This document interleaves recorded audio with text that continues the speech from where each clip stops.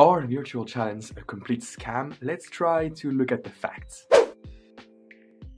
When you buy a virtual challenge, what you do is you buy a predefined route, literally going from point A to point B, usually in a very scenic area or a very famous trail, famous way. It could be the ascent of a famous mountain or just a very famous trail. This challenge has a fixed distance in order to achieve it from start finish. And when you practice any of your activities like cycling, walking, running, swimming, all the mileage is accumulated towards this objective. Some virtual challenges like the one that I love with the Conqueror Challenge gives you also some postcards or some milestones along the way in order to make sure that you keep on running and try to go one more, literally pushing you to go the extra mile. This is all based on your own motivation. If you look at the facts, what they're giving you exactly is a medal. And everything else they're providing to you, you could have it for absolutely free. If you want, you can go on Google Earth, find a way that you find interesting somewhere, maybe Grand Canyon, whatever, and then just decide that, okay, this is 300 miles. So now every mile that I'm gonna do with this activity or with multiple activities, I'm gonna take a paper,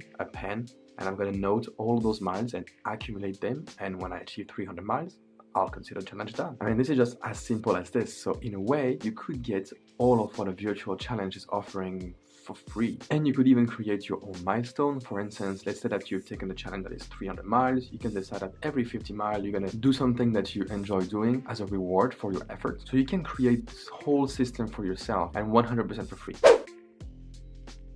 The three things that I think you're getting with the virtual challenge are first you gain the medal. I mean the medal I don't think it can be replicated very easily. I don't think you can do this uh, with your own hands or you're a very crafted person and kudos to you. Then you're getting the community. Usually with virtual challenges there are huge Facebook groups or just community elsewhere. And that, that's why I love the Conqueror Challenges app is because there is such a strong community behind it and such a positive mindset every time I talk to anyone or contribute to the community with the online Facebook group, etc. That it motivates me so much to see other people who are crazy in the same way as me about getting those medals. That is a huge boost in motivation. And then third, they provide simplicity. And that's probably why I think they are worth it. And in my mind, they're not a scam. I had the same discussion a few years ago with friends regarding Netflix or Spotify. Because let, us be honest, if I want to find any TV show I want or any movie I want, there's plenty of illegal, so to say, streaming websites. And same thing goes for music. So then why on earth would I be paying for Netflix or Spotify if I know how to get those videos or music for free? The reason for that is so much more simple. It's so much more simple and for such an affordable price than going out of my way to find free streaming anywhere. It's just not worth the hustle. That's exactly the same thing with virtual challenges like this one. It's so well integrated. When I do a run, it goes on Strava, then it goes automatically to my challenge, runs up all my activities. I can select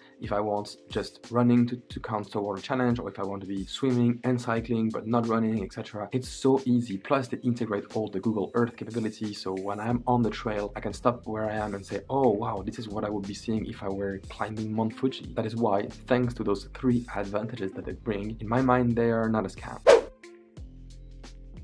I don't deny that it could be expensive, but you also have to consider what you're getting for your money and what is this money worth. There are people out there that think that paying $25 for a virtual challenge that is going to last a month or two months is crazy, but some of those people also find it completely normal to buy a $10 Starbucks coffee every morning on their way to work. You know what? Stop the coffee for three days, just three days. Instead, you drink some drink tea, it's going to be good for you, good for your health, and you will have saved enough money to buy your next virtual challenge. So just compare to what are you spending already in your life compared to what is it worth for you to do this virtual challenge and then try to reevaluate if really it's that expensive or not. And also if you want to get more challenge for your buck, take a very long one. There are challenges that last 4,000 kilometers.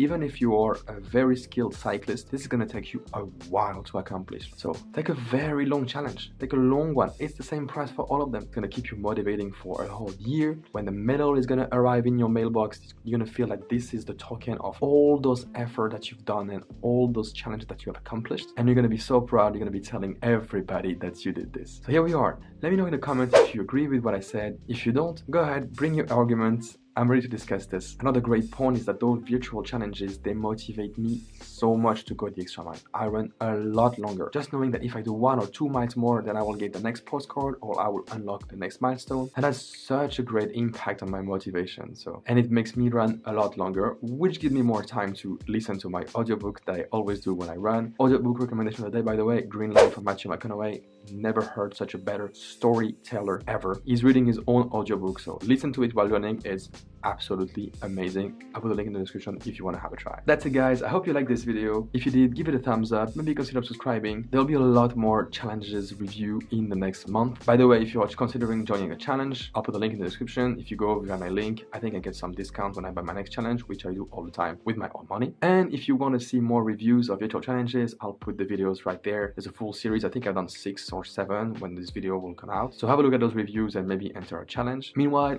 thank you very much for watching and until next time.